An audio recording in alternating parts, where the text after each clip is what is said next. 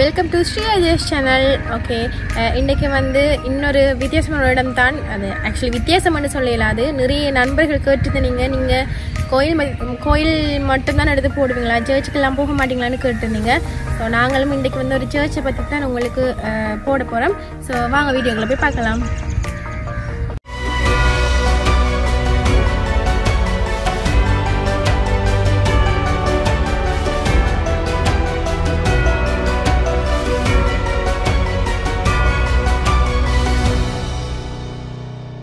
வாழ்க்கையில் ஜெயிக்க நேர்மை தேவைதான். ஆனால் தந்திர வழிகளும் தேவைப்படுகிறது.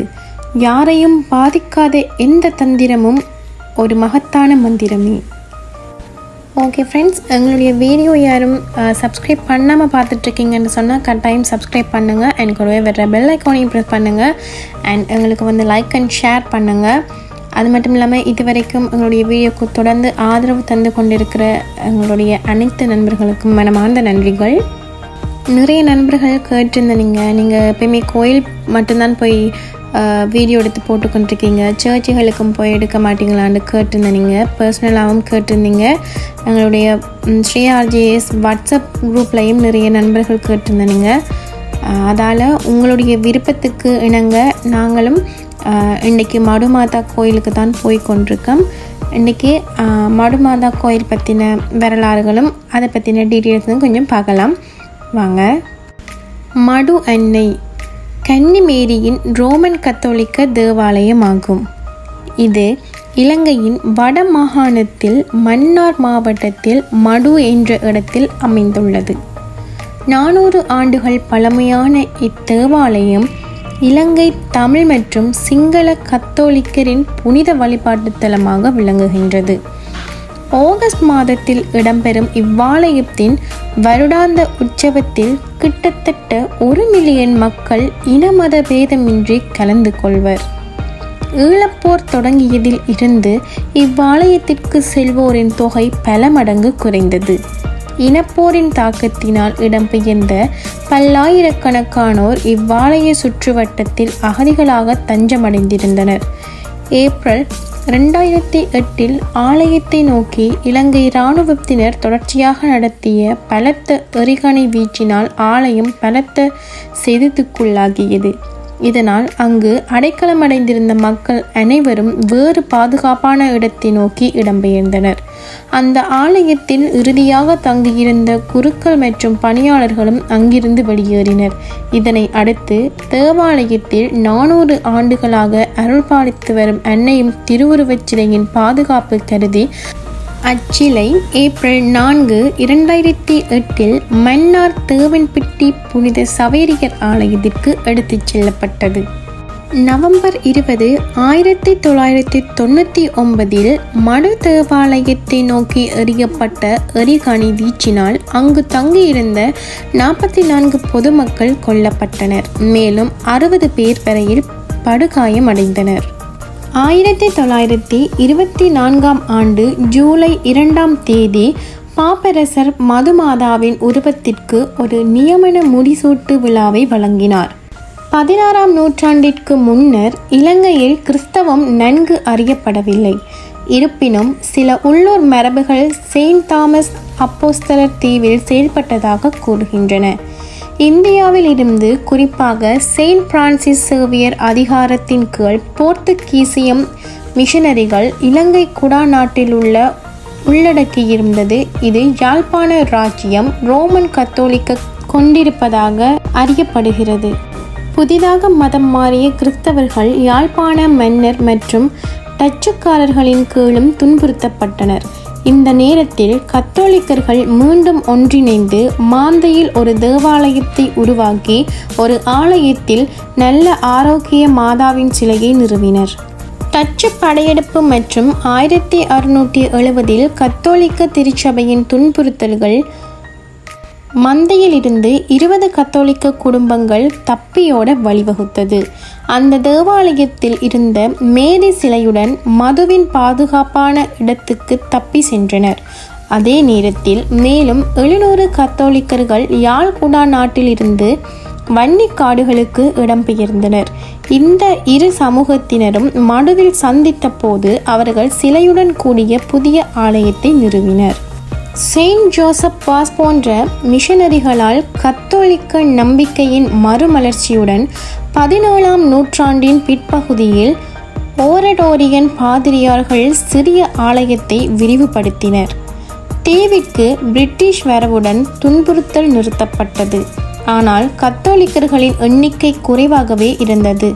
ஆயிரத்தி எழுநூற்றி தொண்ணூற்றி ஆறில் வெறும் ஐம்பதாயிரம் உறுப்பினர்களுடன் இவ்வளவு சிறிய சமூகம் இருந்த போதிலும் மடுவில் உள்ள ஆலயம் நாடு முழுவதிலும் இருந்து யாத்ரீகர்களை ஈர்க்கத் தொடங்கியது. ஆயிரத்தி எழுநூற்றி எழுபத்தி மூன்றாம் ஆண்டு துணைக்கண்டத்தில் தொடங்கிய ஜேசுட் அதிகாரத்தின் முடக்கம் இறுதியில் ஆயிரத்தி எண்ணூற்றி முப்பத்தி நான்காம் ஆண்டளவில் மடுவில் இயேசுவின் சமூகத்தை அடக்குவதற்கு வழிவகுத்தது. ஆயிரத்தி எண்ணூற்றி எழுபத்தி ரெண்டு புதிய தேவாலயத்தின் கட்டிடம் பிஷப் பொன்ஜின் மூலம் துவங்கப்பட்டது மற்றும் அவரது வழித்தோன்றல்களுக்கு ஒரு முகப்பில் ஒரு விசாலமான பிரிஸ்பிட்டரி நற்கருணை கண்களுக்கு குளிர்ச்சியை தேவாலயத்தில் மற்றும் லூர்து எமது லேடி ஒரு குகை கட்டினார். ஆயிரத்தி தொள்ளாயிரத்தி இருபதாம் ஆண்டில் மது மாதாவின் மீது மிகுந்த ஈடுபாடு கொண்டிருந்த பிஷப் ரால்ட் மதுமாதாவின் சிலையின் வரலாற்று சிறப்புமிக்க நியாயமான முடிசூட்டு விழாவிற்கு போப்பின் அனுமதியை பெற்றார். மதகுருமார்கள் மற்றும் பாமரர்களுடன் பிஷப் ரால்ட் மக்கள் சுவிசேஷத்திற்கான சபையின் ஃப்ரீஃபெக்டரான கார்டினல் வில்லம் மெரினஸ் வான் ரோசம் மூலம் பரிசுத்த ஆசனத்துக்கு மனு தாக்கல் செய்தார். கர்த்தினால் வான்ரோசம் தனிப்பட்ட முறையில் திருத்தந்தையிடம் கோரிக்கையை முன்வைத்தார். அவர் ஆயிரத்தி தொள்ளாயிரத்தி இருபத்தி ஓராம் ஆண்டு ஏப்ரல் ஏழாம் தேதி தனது பார்வையாளர்களுக்கு அளித்தார். ஆயிரத்தி தொள்ளாயிரத்தி இருபத்தி நான்காம் ஆண்டில் போப்பயஸின் பெயரில் வந்த பாப்பல் லெகேட்டால் சிலை அதிகாரப்பூர்வமாக முடிசூட்டப்பட்டது. இந்த தேவாலயம் ஆயிரத்தி தொள்ளாயிரத்தி நாற்பத்தி நான்கில் இரண்டாம் உலகப் போரின் போது புனிதப்படுத்தப்பட்டது. கும்பாபிஷேக விழாவிற்கான தயாரிப்பில் ஒரு பளிங்கு பலிபீடம் பழைய மர அமைப்பை மாற்றியது மற்றும் முழு சரணாலயமும் வெள்ளை மற்றும் நீல பளிங்குகளால் மூடப்பட்டிருந்தது. பயண கட்டுப்பாடுகள் மற்றும் போக்குவரத்தை கண்டறிவதில் சிரமங்கள் இருந்த போதிலும் முப்பதாயிரத்துக்கும் மேற்பட்ட மக்கள் காட்டில் உள்ள கோயிலுக்கு வந்தனர். ஆயிரத்தி தொள்ளாயிரத்தி நாற்பத்தி எட்டு ஆயிரத்தி தொள்ளாயிரத்தி எழுபத்தி நான்கு மற்றும் இரண்டாயிரத்தி ஒன்றில் இலங்கையில் உள்ள திருச்சபைகளுக்கு மடுமாதாவின் சிலை மூன்று முறை ஊர்வலமாக எடுத்து செல்லப்பட்டது. பின் இலங்கையில் உள்ள கத்தோலிக்கர்களை அமைதிக்காகவும் பிரார்த்தனை செய்ய ஊக்குவிக்கும் ஆன்மீக முயற்சியாகும். ஆயிரத்தி எண்ணூற்றி எழுபதாம் ஆண்டில் புதிய பிஷப் ஜூலை இரண்டாம் தேதி ஆண்டு விழாவை கொண்டாட ஏற்பாடு செய்தார். இருப்பினும் சமீப ஆண்டுகளில் ஆகஸ்ட் பதினைந்தாம் நாள் திருவிழா கத்தோலிக்கர்களுக்கு மிகவும் புனிதமான நாட்களில் ஒன்றாகும். ஆசிர்வதிக்கப்பட்ட கன்னி மரியாவை பரலோகத்திற்கு ஏற்றும் விழாவாகும். மேலும் இது பள்ளி விடுமுறை நாட்களில் வருகிறது. ஓகே இப்போ நாங்கள் அதை பற்றின டீட்டெயில்ஸ் பார்த்தோம். இப்போ நீங்கள் பார்த்து கொண்டிருக்கீங்க. நான் முதல் முதல் இப்போ தான் கோயிலுக்கு போயிருக்கிறேன். நல்ல பெரிய வளவாக இருந்தது. எல்லாமே வெள்ளை கலரும் நீல கலரும் கலந்த மாதிரி பெயிண்ட் அடித்து வச்சுருந்தவங்க. பெருசான சர்ச்சுக்கு போனது குறைவு தான் வேறு வேறு சேர்ச்சுக்கெல்லாம் போயிருக்கிறேன். அதுக்காக போனது இல்லை அப்படின்னு இல்லை போயிருக்கேன். இவ்வளோ பெரிய சர்ச் வந்து நான் பார்த்ததில்லை. இப்போ தான் முதல் முதலாக பார்க்குறேன். அந்த இடத்துக்கு போனோடனேயே மனசு வந்து நல்லா அமைதியாக இருந்தது. ஏன்னா நல்ல பச்சை பசைலண்டி இருந்தது. தனியாக ஒரு இடம் இதுக்கண்டே இருக்குது அது ஒரு பெரிய ஒரு விஷயம் தான் என்ன இந்த சர்ச்சுக்கண்டே ஒரு தனி இடம் இருக்குது. அப்போ நிறைய பேர் சொன்னவங்க திருவிழா டைம்னு சொன்னால் நிறைய சனம் வந்து நின்று தங்கி இருந்து கூடாரம் எல்லாம் போட்டு சமைச்சு சாப்பிட்டு குளித்து எல்லாம் அந்த திருவிழாவை கொண்டாடுவாங்கன்னு சொல்லி நாங்கள் உள்ளுக்குள்ளே போய் வீடியோ எடுப்போம்னு தான் யோசிச்சுட்டே போனாங்க. ஆனால் கொஞ்சம் என்ட்ரன்ஸ்லேயே போட்டிருந்தவங்க செல்ஃபோன் யூஸ் பண்ணுறது வீடியோ எடுக்கிறது எல்லாம் தடை என்று சொல்லி போட்டிருந்தவங்க. நாங்கள் அதால் வந்து உள்ளுக்குள்ளே எடுக்கல. வெளியில் மட்டும்தான் எடுத்தினாங்க. இப்போ எந்த கோயிலாக இருக்கட்டும் எந்த மதத்துடைய கோயிலாக இருக்கட்டும் அதில் புனிதம் கெட்டு போகாமல் பாதுகாக்க வேண்டியது எங்களோட கடமை. நாங்கள் இப்படி கோயில் இருக்குன்றத போடுறது எங்களோட கடமை அவ்வளோதான் அதுக்காக உள்ளுக்குள்ள எல்லாம் போய் வீடியோ எடுத்து போடக்கூடாதுன்னு போட்டிருக்காங்க. அதனால் நாங்கள் போடலை. எங்களால் ஒரு புனிதம் வந்து கெட்டு போகக்கூடாதுன்னு நாங்கள் நினச்சதால தான் நான் அடிக்கல இன்னொன்று சர்ச்சுக்கு போனாலே மெழுகு திரிதான் ஸ்பெஷல் நினைச்சது வேண்டி அவங்களோட அவங்களோட ஆக்கள்கிட்ட சைஸுக்கு ஏற்ற மாதிரி கொடுக்க விரும்பினா கொடுப்பாங்க. அந்த மாதிரி ஒவ்வொரு விதமான மெழுகு திரிகள் எல்லாம் இருக்குது. இந்த கோயில் ரொம்பவே சக்தி வாய்ந்த கோயில்னு நான் சின்ன வயசுலேருந்து கேள்விப்பட்டிருக்கிறேன். அப்போ இன்றைக்கு தான் நான் முதல் முதலாக போய் பார்க்குறேன். நிறைய பேருக்கு இந்த காலத்தில் நிறைய விதமான பிரச்சனைகள் இருக்குது எப்போயாவது உங்களுக்கு டைம் கிடைச்சா கட்டாயம் இந்த கோயிலுக்கும் போய் நீங்கள் வந்து நேத்தி வச்சு அந்த கோயிலுக்கு வந்து எதையாவது கொடுக்கணும்னு நினச்சா கொடுங்க. இல்லை மிளகு ஏற்றணும்னு நினச்சா நினைச்சா கட்டாயம் ஏற்றுங்க நாங்களும் போன நேரம் மிளகு திரியெல்லாம் வாங்கி அதில் ஏற்றினாங்க நீங்களும் இந்த வீடியோவில் அதை பார்த்தனீங்க. இந்தியாவில் வந்து வேளாங்கண்ணி மாதா வந்து எவ்வளவோ ஒரு ஸ்பெஷலான ஒரு இடம். அது எல்லாருக்குமே உலக மக்கள் எல்லாருக்குமே அந்த விஷயம் தெரியும். அதே மாதிரி இலங்கையில் மடுமாதா அப்படின்றது ரொம்பவே ஃபேமஸான ஒரு கோயில் தான். இங்கேயும் நிறைய நேர்த்திக்கடன்கள் வச்சு நிறைய பிரச்சனைகள் நிறைய மக்களுக்கு தீர்வாகி இருக்கின்றது. இதில் முக்கியமாக நாங்கள் சொல்ல வேண்டிய ஒரு விஷயம். அதால் உங்களுக்கும் இந்த மாதிரி ஏதாவது பிரச்சனைகள் இருக்குமா இருந்தால் நீங்களும் கட்டாயம் வந்து இந்த இங்கே வந்து பிரார்த்தனை செஞ்சுட்டு போகலாம். அது மட்டும் இல்லை இங்கே நிறைய அஹ், ஜீவராசிகள் அஹ், வாழ்ந்து கொண்டிருக்கு. இந்த வாத்து நாய்கள் எக்கச்சக்கமாக இருக்கிறாங்க. வழியிலெல்லாம் வந்து அஹ், நிறைய மாம்பழம் விளாம்பழம் அஹ், கச்சா எல்லாம் வச்சு விற்று கொண்டு இருந்தவங்க ஸோ நாங்களும் அதெல்லாம் வாங்கினாங்க. அதெல்லாம் வீடியோ எடுக்கணும்னு நினச்சினாங்க தான் பட் கொஞ்சம் கஷ்டமாயிட்டு. ஓகே இப்போ நாங்கள் வந்து இந்த தொங்கு பாலத்துக்கிட்ட வந்துட்டோம். நான் வந்து மடுமத கோயிலுக்கு போகிற வழியில் ஒரு ஆமி கேப் மாதிரி ம மறித்து அதை செக் பண்ணியெல்லாம் அனுப்புகிறாங்க அப்போ அவங்கள்ட்ட தான் கேட்டோம் இந்த மாதிரி தொங்கு பாலம் பண்ணி போட்டுக்கு இதுக்குள்ளே போகலாமான்னு சொல்லி. அப்போ அவங்களே சொன்னாங்க கட்டாயம் போய் இதுக்குள்ளே போய் பாருங்கள் என்ன ஒரு தொங்கு பாலம் இருக்குது அப்படின்னு சொன்னாங்க. சரி ஓகே நாங்கள் கோயிலுக்கு போயிட்டு வரைக்கில் வந்து பார்ப்போம்னு சொல்லிட்டு அதுக்குள்ளே போனாங்க. இப்போ நீங்கள் பார்த்துட்டு இருக்கிற இடம் அதுதான். என்னடா தொங்கு பாலம்னு சொன்னாலே காணலையே யோசிக்காதீங்க. இனித்தான் தொங்கு பாலம் வரும். இது வந்து அந்த குளத்து தண்ணி ஆற்று தண்ணி எல்லாம் வர்ற துண்டு தான் அது. இப்போ நாங்கள் வந்து தொங்கு பாலத்தில் வேற போய் கொண்டிருக்கிறோம். முதல்ல இந்த தொங்கு பாலத்தை பார்த்தோன்னே நெஞ்செல்லாம் படபடன்னு இருந்தது. ஐயோ போகணுமாண்டு. ஆனால் எங்களோட வந்தவங்க எல்லாம் போகாதீங்க பயமாக இருக்குன்னு சொன்னாங்க. பட் நாங்கள் அப்படி இல்லை. இருக்கிறத ஒரு லைஃப் எல்லாமே என்ஜாய் பண்ணணும் தானே அப்படின்னு யோசிச்சுட்டு போனாங்க தான். என்ன கொஞ்சம் பழைய காலத்து இது மாதிரி தான் தெரியுது பார்க்குறதுக்கு. அந்த இதெல்லாம் கொஞ்சம் கரல் பிடிச்சு சில சில இடத்துல எல்லாம் உடஞ்செல்லாம் இருந்தது. அந்த கீழே போட்டிருக்க தகரம் கூட கொஞ்சம் அப்பப்போ அப்படி இப்படி ஒரு சில இடத்துல உடைஞ்சிருந்தது ஒரு மாதிரி பார்த்து பார்த்து அதுக்கேற்ற மாதிரி வந்துட்டோம். என்ன? நாங்கள் போய்க்கலையே ஆடும் தானே. தனியாக போய்க்கல லைட்டாக தான் ஆடும். இது நிறைய பேர் வந்தாங்கன்னா செம வேகமாக ஆடும் அப்போ அது கொஞ்சம் இல்லை ரொம்ப பயமாக இருக்கும். நாங்கள் வந்து ஒரு மாதிரி நடந்து நடந்து போய் அந்த சென்டருக்கு அதாவது நடுவில் வந்து போய் நின்றுட்டோம் நடுவில் போய் நின்றுட்டு தான் நான் பார்த்தேன் நான். அது வரைக்கும் நான் கீழே பார்க்கல எனக்கு அவ்வளோ பயமாக இருந்தது. அதுக்கப்புறம் பார்த்தா ஆற்று தண்ணி என் வலது கை பக்கம் எங்கேயோ இருந்து வர்ற ஆற்று தண்ணி இடது கை பக்கம் பார்த்தா சின்ன பாலம் மாதிரி இருக்குது அந்த பாலத்தோடையே ரொம்ப பெரிய மரம் ஒன்று வந்து இயற்கையாகவே அந்த சின்ன பாலத்தோட வந்து முட்டிட்டு நிற்குது அதையும் உங்களுக்கு இந்த வீடியோவில் நாங்கள் காட்டியிருப்போம். நிறைய மக்கள் வந்து இங்கே ஃபேமிலியாக வந்து சாப்பாடெல்லாம் எடுத்துகிட்டு வந்து குளித்து அதை என்ஜாய் பண்ணி கொண்டு இருந்தவங்க இன்னொன்று விஷயம் என்னென்னு சொன்னால் இங்கே நிறைய குரங்குகள் இருக்குது அது எல்லாமே கொஞ்சம் அது என்ன குரங்குன்னு சொல்லுவாங்கண்டா? செங்குரங்குன்னு சொல்லுவாங்க. அதெல்லாம் எக்கச்சக்கமாக இருக்குது ஸோ நீங்களும் இந்த இடத்துக்கு வேலைகளை கொஞ்சம் கவனமாக இருங்க. சின்ன பிள்ளைகளை கண்டாயெல்லாம் தெரியும் குழப்படி செய்யுங்க குரங்குகளும். ஸோ கவனமாக இருக்கணும்.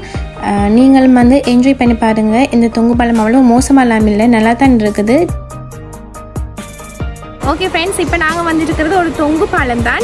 இப்போ நான் இப்போ நீங்கள் வீடியோவில் பார்த்தீங்க நாங்கள் வந்து மடுமாதா கோயிலுக்கு தான் போயிருந்தாங்க ஸோ போகிற வழியிலேயே இந்த தொங்கு பாலத்தை பற்றி ஆமி கணக்கு சொன்னாங்க. ஸோ போர்ட்லேயும் பார்த்துனாங்க.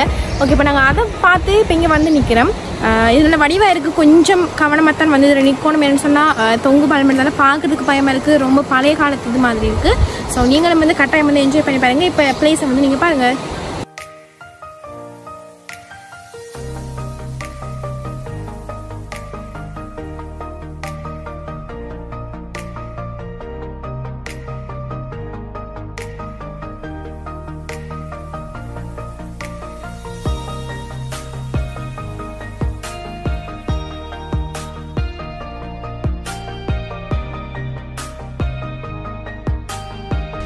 நான் சொன்ன மரம் இதுதான். உங்களுக்கு வீடியோவில் பார்க்க சின்ன மாதிரி இருக்குது நேரில் போய் பார்க்கல அது ரொம்ப பெருசாக தான் இருந்தது. இது எப்படா இங்கே வந்து சேர்ந்துருக்கும் அப்படின்னு நாங்கள் யோசிக்கிற அளவுக்கு அது இருக்குது இந்த இடம் ஃபுல்லாகவே இந்த மாதிரி நிறைய ஒன்று ரெண்டு இடத்துல இப்படி தனித்தனியாக அருவி மாதிரியெல்லாம் கொட்டுற மாதிரி வான் கதவு திறந்த இருக்கு அப்படி இருக்கும். அது மாதிரி எல்லாம் இருந்தது. இதுக்குள்ளே வந்து சின்ன ஊர் இருக்குன்னு நினைக்கிறேன். என்ன சொன்னால் சின்ன ஒரு பாதை தான். ஆனால் அதுக்குள்ளால் போய் வளைஞ்சி காட்டுக்குள்ளே போகிற மாதிரி இருக்குன்னு நாங்கள் போய் பார்க்கல. எங்களுக்கு டைம் இல்லைன்றதால நாங்கள் அந்த பக்கம் போய் பார்க்கல. ஆனால் இதில் இன்னொரு விஷயம் என்ன சொன்னால் குளிக்கலாம் அப்படின்னு சொல்லி ஆமிக்காரர்கள் சொன்னவங்க தான். ஆனால் போர்ட் போட்டிருந்தாங்க. நீரில் மூழ்கும் அபாயம் உள்ளதுன்னு சொல்லி. அதால் கொஞ்சம் அந்த தண்ணியை பார்த்தா நிறைய ஃபோர்ஸாக தான் போகுது. அதால் கொஞ்சம் குளிக்க நினைக்கிறவங்க வந்து தயவு செய்து பார்த்து குளிங்க. அப்படி நீங்கள் குளிக்காட்டியும் பிரச்சனையில் தான் என்ன சொன்னால் உயிர் எப்பயுமே முக்கியம் நான் சொல்லியிருக்கேன். என்ஜாய் பண்ணத்தான் வேணும். அதுக்காக வந்து உயிரை கொடுக்கக்கூடாது. உயிர் இருந்தால் மட்டும்தான் நாங்கள் என்ஜாய் பண்ண முடியும். அதுக்கேற்ற பாதுகாப்போடு தான் நாங்கள் எதையுமே பார்க்கணும். அதனால் நீங்களும் இங்கே வந்து போகையில் நல்ல கவனமாக வாங்க. இதில் இன்னொரு இடமும் இருக்குது அது இதை விட இன்னும் வடிவாக இருந்தது. நல்ல சில சில சிலன்னு தண்ணி அருவி கொட்டினா அப்படி இருக்கும்? நல்ல வேகமாக அந்த மாதிரி சத்தத்தோடு உங்களுக்கு வந்து ஒரு வீடியோ எடுத்துருக்குறோம். அதுவும் இந்த வீடியோ நாங்கள் ஆட் பண்ணியிருக்கிறோம் பாருங்கள்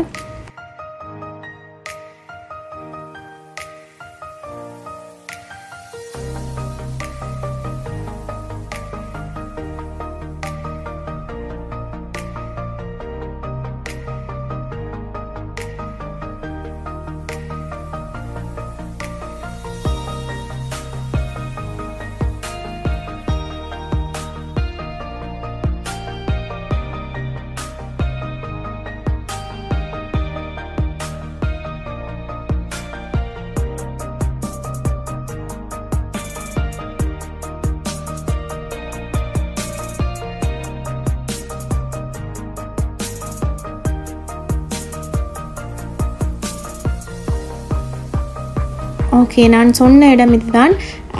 இது வந்து ஒரு பாலம். இதுவும் அங்கே இருக்கிற பாலத்தில் ஒரு பாலம் தான் இதுக்கு அங்கால வந்து தான் நான் போய் கொண்டிருக்கிறேன். நான் என்னடா இவர் இப்படி சொன்னாலே இன்னும் காணலன்னு யோசிக்காதீங்க. இனித்தான் அது வரும். இது வந்து பாக்கிக்கில் வந்து எப்படி இருந்து இருந்துச்சுன்னா படங்களில் பாக்கிக்கில் இருக்கிற ஃபீல் வந்து எனக்கு வந்துச்சு. என்னென்னு சொன்னால் அப்படி இந்த மாதிரி காட்டுக்குள்ளே அதுவும் இந்த அந்த எண்ணத்தில் டிஸ்கவரி தமிழ் அதிலெல்லாம் வந்து நிறைய இடம் பார்த்துருப்போம். அவர் இந்த மேன் வீஸ் வைல்ட் எல்லாம் அதில் இருக்கிற அந்த ஆள் வந்து இப்படி தான் இப்படியான இடங்களில் திரிஞ்சு கண்டது பூச்சி பாம்பு அது எல்லாத்தையும் பிடிச்சி பிடிச்சி சாப்பிடுவேன் அப்போ இந்த மாதிரி இடங்களும் அதில் வரும். அப்படி ஒரு ஃபீல் எனக்கு இருந்துச்சு. என்னை நீட்டாக தண்ணி போயிட்டே இருந்துச்சு.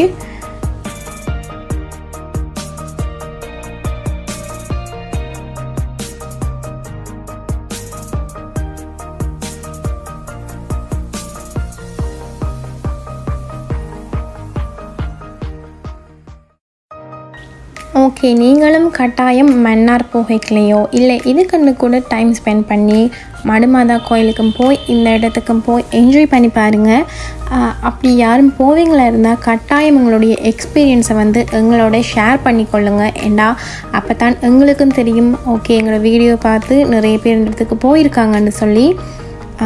அதையும் மறக்காதீங்க. மற்றது இங்கே பாருங்கள் ஆகாய தாமரைன்னு சொல்லுவாங்க. குளத்துல எல்லாம் நல்ல வடிவாக பர்பிள் பர்பிளாக புத்து புத்து புத்து நல்ல வடிவாக இருந்துச்சு.